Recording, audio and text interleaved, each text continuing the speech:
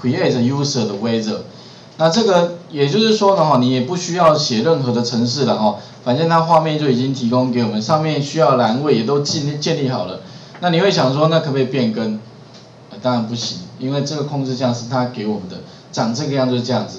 所以如果说你要其他栏位，很抱歉，请你自行设计吧，好。所以这里的话呢，有哪些部分呢？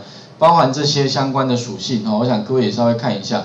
比如说确认那个账号密码，哦，然后相关的属性。也就有这些属性，你可以去做变更的。那超过这部分的话呢，也是很抱歉，没有办法哦做新增的动作。那这边的话，他说至少七个资源，我印象中还是还是六个资源就可以哈。OK，那其他的话相关的设定哦，稍微看一下。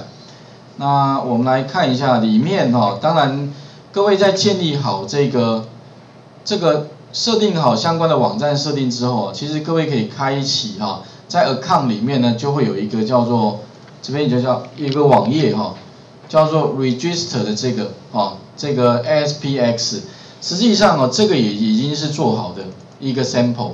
那这个 sample 呢，基本上哦已经可以用了。比如说我这地方呢，假如说我今天登出好了，啊这地方登出，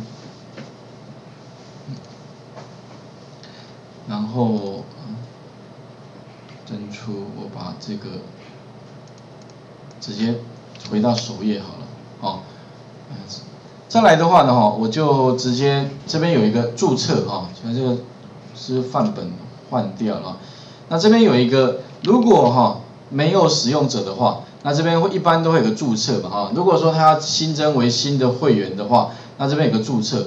那注册点进去之后，实际上哈就会跳到这个页这个页面，register 这个页面。那这个页面里面呢，就可以让使用者呢自己再去新增一个使用者。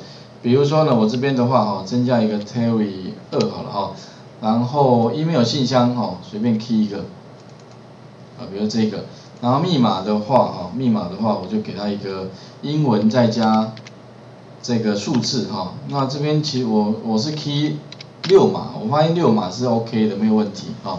好，那这个地方的话呢，按一下建立使用者，也可以透过哈这个 create。user 的 wizard 自动就帮我新建一个使用者，啊按下建立使用者，那这个地方的话就自动有一个，而且呢新增完之后呢也会自动登录，也就不需要做任何事情哈。你会发现这个地方基本上都是自动化的，好，这个 create 的这个 wizard 的部分，好，那另外的话呢，它还提供给我们什么呢？更改密码的部的这个控制项。这个更更改密码，当然有的时候你的这个密码忘记的话，那怎么办呢？这边它也提供一个叫做